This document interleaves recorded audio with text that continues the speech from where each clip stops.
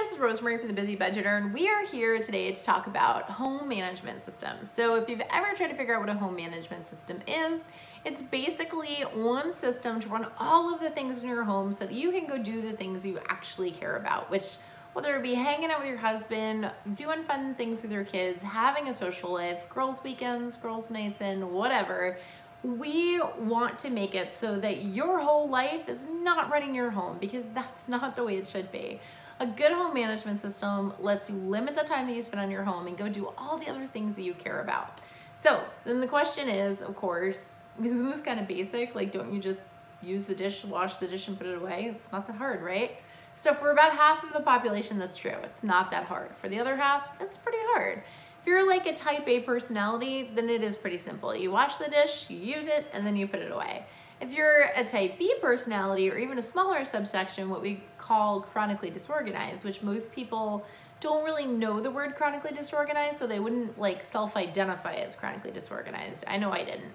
Um, but so if you're one of these chronically disorganized type B people, then it's actually a lot harder than you would think. So you can tell, we've got a quiz to tell if you are chronically disorganized and I'll link below in the comments, but basically if you always kind of have a giant laundry pile and you can't really ever get ahead. And if you do get ahead you get behind again. If you always have dishes in the sink and it never actually reaches we call it like dish zero like inbox zero you never really, really you never really reach dish zero you're probably chronically disorganized. If your car usually has trash in it you're probably chronically disorganized. So there's like nine identifiers that we use. Um, it can actually be up to 18 if you have sub sub identifiers but if you're if you're that type of type B personality, then yeah, this is not super easy.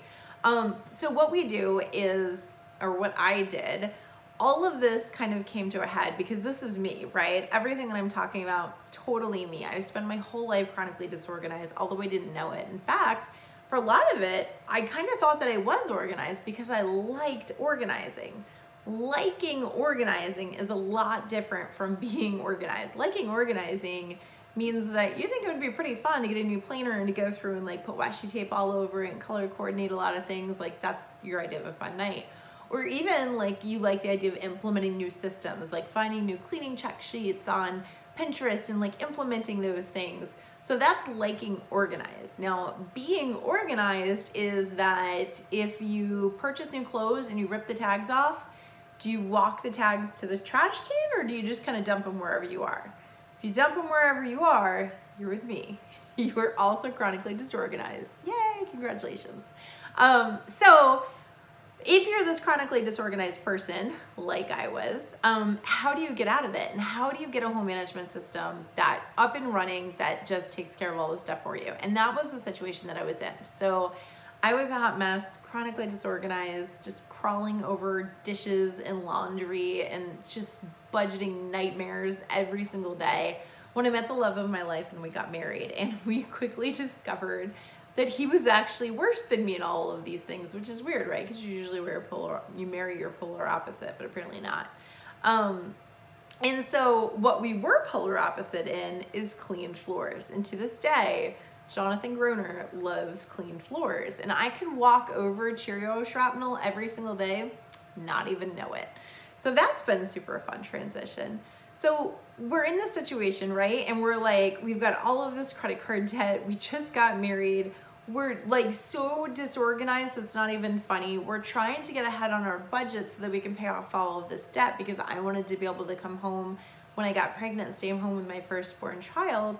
And we're realizing every time we set this budget, we blow it within like a couple of days. Like it's zero willpower with both of us.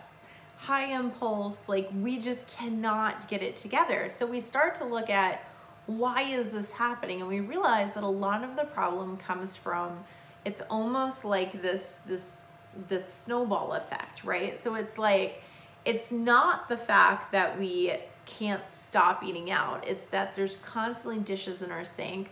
We have no idea what we need to cook the meal. We don't have time to cook the meal. We think we're gonna cook the meal and then we get extended at work. So now we really don't have time to cook the meal and we end up going out anyway. So we realized that the, um, the level of organization in our lives was severely affecting the budget. So what we did was we just decided to just go nuts one day. And this was after trying and failing and trying and failing for, for years. We finally got smart and we're like, all right, we're gonna work with our personality. That means that willpower, not a thing. We don't have it. We've already proven that we don't have it time and time again. It's one thing to be like, I'm gonna do it this time. This is the time that I'm gonna do it. But in that moment, when you want something, like when you're coming home from work and you're exhausted, you're going to do what you want in that moment. And it doesn't usually involve cleaning or cooking. So whatever system we were gonna do had to work with our personality. Type B, no willpower, kind of a little bit impulsive. And then the second thing was we were gonna incentivize everything we do, which got a little tricky because one, we're trying to save money, so we can't really incentivize with money. And two, we both have a few pounds to lose, so we couldn't really incentivize with food. So what do you incentivize with? That's my favorite. We're gonna get to that in a second. And then the third is we're only gonna do what matters. So I'm a big fan of the 80-20 principle, and that basically says that 80% of the results come from 20% of the actions. So you can save a lot of time and stress in your life if you just skip the 80% and just do the 20%. So the last thing was that we started only doing the things that matter, but in the right order. So I don't want to bore you with the details, but basically there's two types of routines in the world. There's simple routines and there's complex routines. Simple routines don't really need anything else to get accomplished. So simple routines are things like the laundry, right? I could I could have you in a completely trashed house and I could say go do a little laundry. You're not going to really have any uh, like barriers to getting that laundry done. You can like wade through the, tr the trash and the mess, stick in a load of laundry, switch it over and be good to go. But if I were to tell you, if I were to drop you in this trashy house and say, okay, I want you to go uh, make dinner tonight for six, you're gonna be like, uh, I don't know what to cook. I don't know what's expired. Like the entire kitchen is trashed. I have no spatulas. I have no pans. There's like, uh, what? No, I can't do that. So that is a more complex routine. Now, fun fact, whenever you get to like New Year's Eve resolutions or anytime anybody's like, I'm gonna make big changes in the world, they always say complex routines. Budgeting, cleaning, meal planning, all of these things are always complex routines. So nobody ever says like, man, this New Year's, I'm gonna do laundry every single day. It's gonna be amazing. Nobody says that. Everybody's like, I'm gonna completely transform my budget or I'm gonna lose 95 pounds. It's gonna be amazing. So simple routines, we're gonna master first and then we do complex routines. So this was seven years ago, seven years ago, which is just nuts. It's nuts. Anyway, it worked. when I say it worked, I mean it worked. In the beginning, like a couple days in, I'm like, wow, this is kind of easy. But we didn't know what the long-term results were gonna be yet. So we weren't like too excited. And then a few more days in, a few weeks in, a few months in, we were like, oh my gosh, this is working. This is working. And then, so now it's been seven years. We still do the same things that we had set up back then. So I'm gonna give you a brief overview of how to set up a home management routine for you that's just gonna rock it, particularly if you were this type B personality that is struggles kind of with getting this stuff under control. All right, so the first thing is automation. Automation means we're gonna save as much time as possible because one, you have no time for anything new, especially to incorporate a home management program. You don't have time for that. So the first thing is we save a bunch of time. We do that by automating as much as humanly possible in your life. And there's a lot of different ways that we can do this. And I'm gonna link to a post where we go a little bit more in depth for it. And we even have a course that goes in like way deep into beyond that. So if you're like, I don't wanna figure it out, I just want you to tell me what to do and when to do it, we even have a whole course for that. Called Hot Mess to Home Success. I'll link that below in the bottom too. But the post is free and that'll go into a lot of stuff too. So the first thing that we're gonna do is we're going to, um, for me, this is gonna, automation looks a little bit different for everyone because it's gonna depend on what you're wasting your time on. But for me, it was A-B testing grocery delivery. And this was back in the days where you had to like actually pay for grocery delivery, like a fairly good amount. But because I was saving so much money in impulse purchases and I was saving hours every week in the store, grocery delivery was a huge win for us, a huge win. And then going beyond grocery delivery, there's also um, prescription mail delivery. There's pretty much every errand that you can run in the world can be automated so that you're no longer spending time from it. So what this did in my life was I went from running all these errands every week, a lot of them last minute, like, oh, I've got to go to the post office and I've got to go to the grocery store and then I've got to pick up the kids and then I have to drop the dog off to the vet and then somehow I have to get to soccer practice. All of that just went away and I didn't have to do anything any day, which is pretty exciting. So now when I have to do one thing, I'm like, oh my God, I can't do it. Yeah, fun fact. Okay, so when we eliminate all of this stuff, the other thing we're gonna do is you put together a stock room, which is stock room is all of the things you need to run your life. Everything, everything that needs to run your house. So it's deodorant, shampoo, dog food, all of the things. And when you do that, you're gonna set it all up to be delivered home delivery, just like your groceries. And what that does is it stabilizes those, those costs. So again, you're not going crazy with all of these extra purchases that you don't need. So then you're gonna go a little bit further and now like we've saved a bunch of time and we're like, our stress level, once you get through automation, your stress level goes like, just like that. I mean, it's pretty cool. And also you have free time. John and I always joke that whenever we get to a point like, or at least when we were doing this and we got to the point where like most of the chaos went away, we were like, we should get a dog. And of course we did because there's like this weird lull where you're like, you're so used to feeling stress and chaos that you almost want to recreate it. Like you're like, we're bored. We should have more stuff. Anyway, fun fact. Okay, so then you go into foundation, which is dishes, laundry, and schedule book. So dishes, laundry, and schedule book is literally the foundation that holds the entire home management system up. Those are also your simple routines. They're pretty easy to complete. Um, the, the secret to this is don't overdo it. You do one load of dishes every single day. Hand wash the big giant bowls and pots. When you hand wash them right away after you use them, they take seconds. It's like brainless how easy it is. And we even have really, really detailed posts about how to hand wash dishes. Fun facts if in case you don't know, because I actually didn't know when I started. Um, and then laundry, all you're gonna do is wash yesterday's clothes and you're not gonna like do 20 loads to catch up and then do yesterday's loads. All you're gonna do is just wash yesterday's clothes. And if most families, unless you have a huge family, in which case we'll talk about different things you can do in the post, you're gonna wash yesterday's clothes and you're going to fit in anything extra. So you're gonna catch up slowly over time. It might take you a month to catch up that's totally fine. One a day, that's it.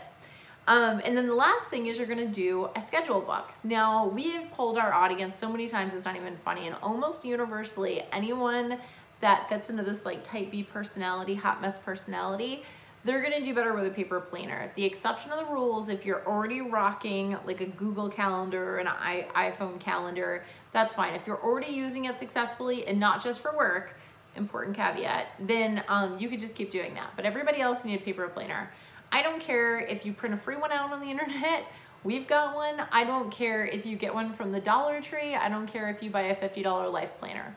Whatever works for you, you just need to have a paper planner.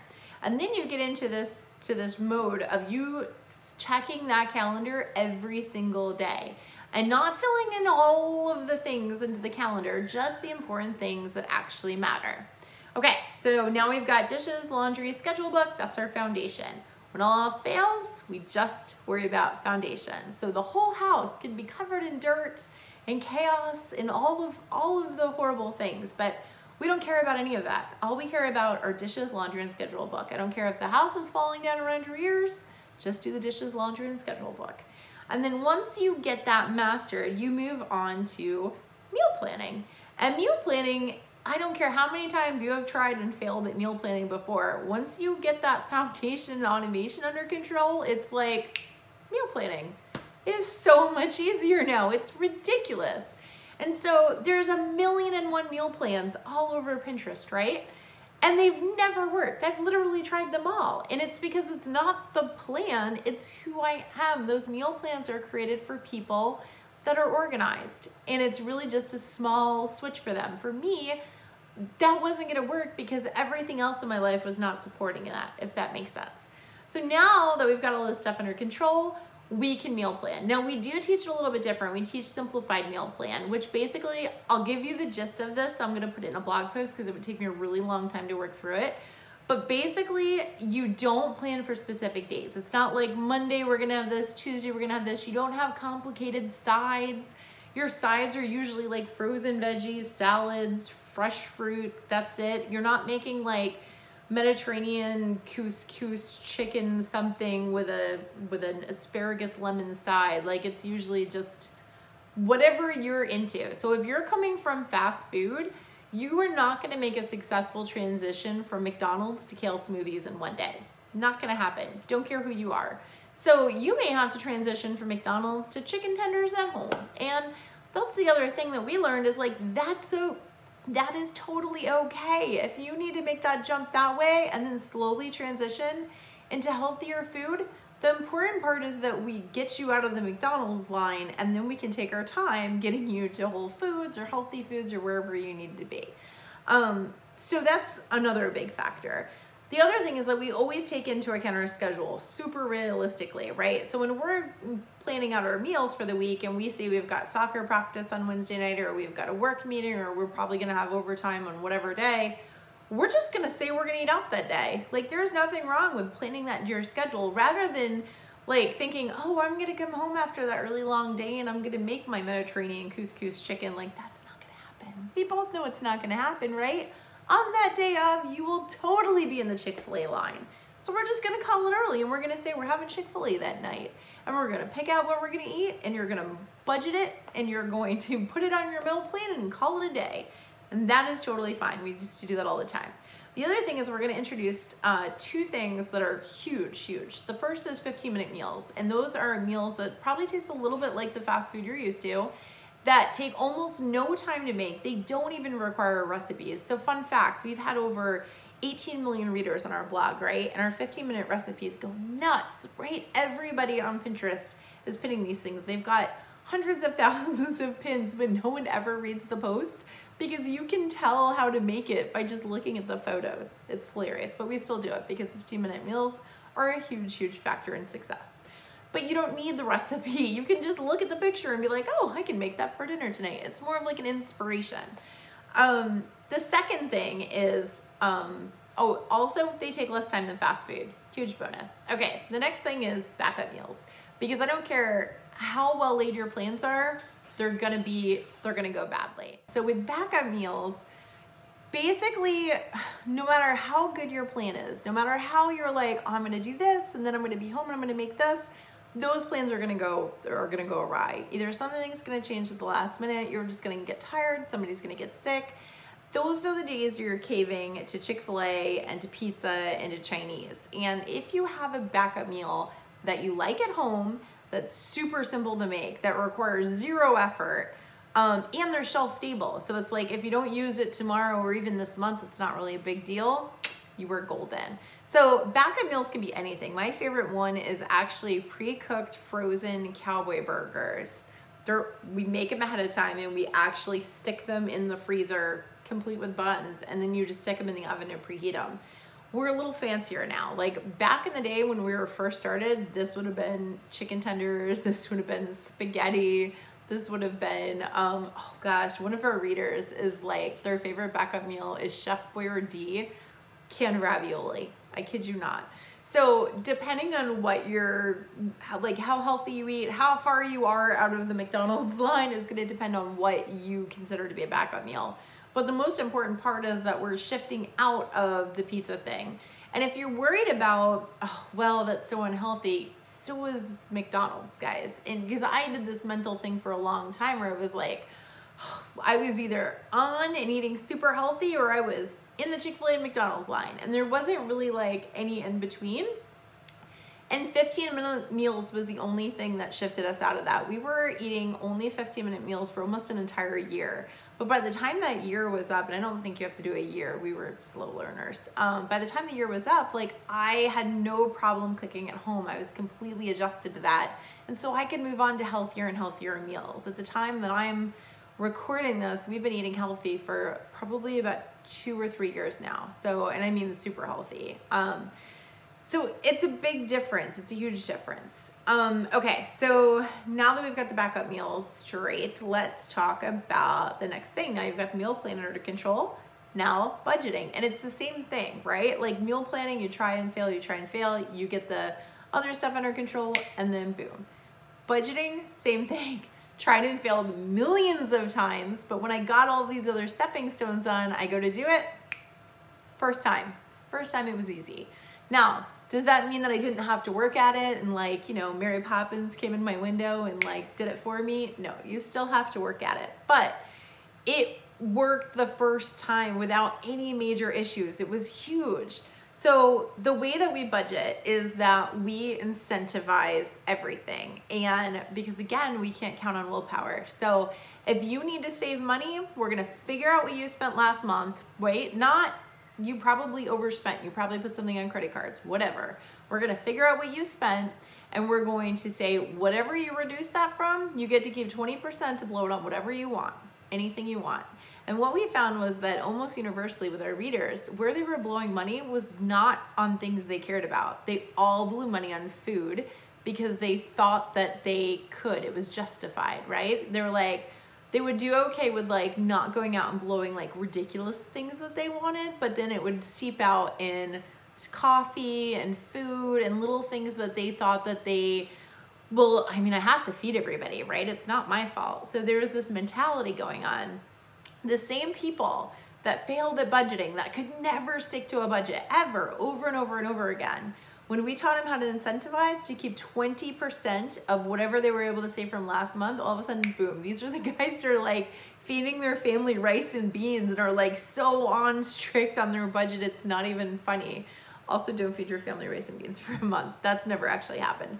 But the point is, is that it's it's a surefire way to make somebody that kind of sucks at budgeting like a super budgeter particularly if you dole out those incentives weekly. The reason why it works is because a month is a long time to wait for a reward. That's usually a little bit too long. But if in the beginning you're doling out that, let's say you have $150 to spend on, groceries every week. You spend 100, you take 20% of the 50. You spend 80, you take 20% of the 50. If you eat out of your pantry and your freezer and you spend zero, you make you get 20% of the 150. Huge, huge, huge difference. So in addition to that, we also teach 80% um, of that every single time you reduce your spending, even though you've got all of this money to blow, you're also putting 80% of that into debt at first, then investments, an emergency fund. Emergency fund actually comes first, but um, so you have all of this money. So in your mind and what it felt like to us was we're like we're blowing so much money like we're trying to save money but we're spending all of these things like we're buying all of these things.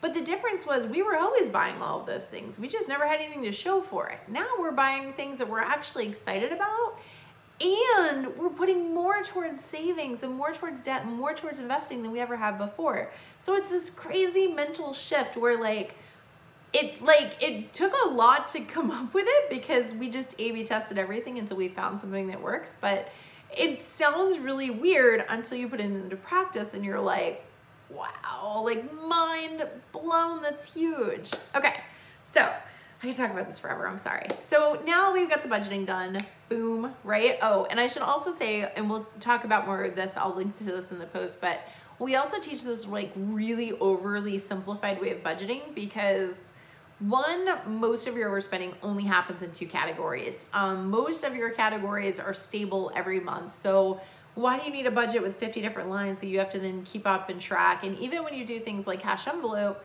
like let's say you have $50 for clothing every month, you're always just gonna take the money out of the clothing and put it into something else anyway. Like when you do cash envelopes, it's like a constant shift of money where, oh, I did this too much over here, I'm gonna move this.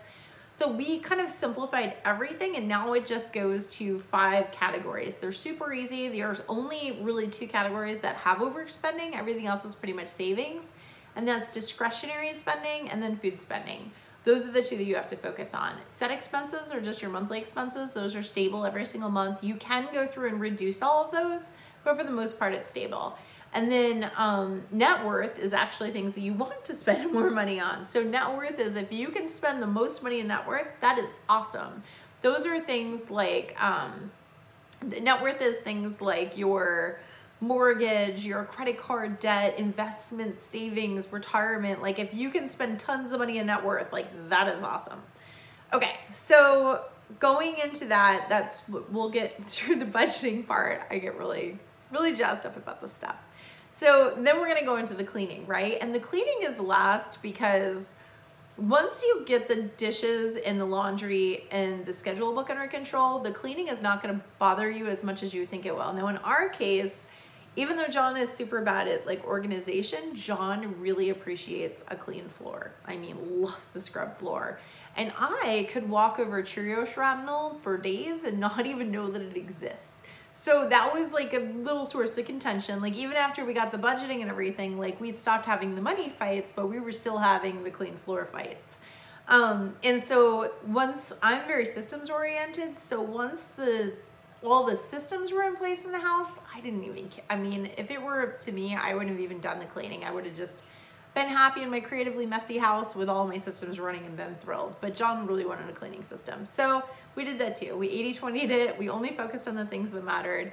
And we basically went through and we listed all of the things that we actually cared about. Like the things that impacted our, our life, the things that we thought that people that came over that we cared about would notice. I don't really care about it, but John did. Um, and then we came up with a really simple system of how do we do, how do we put the least amount of effort into this and still get results where if we look around our house, we really like it.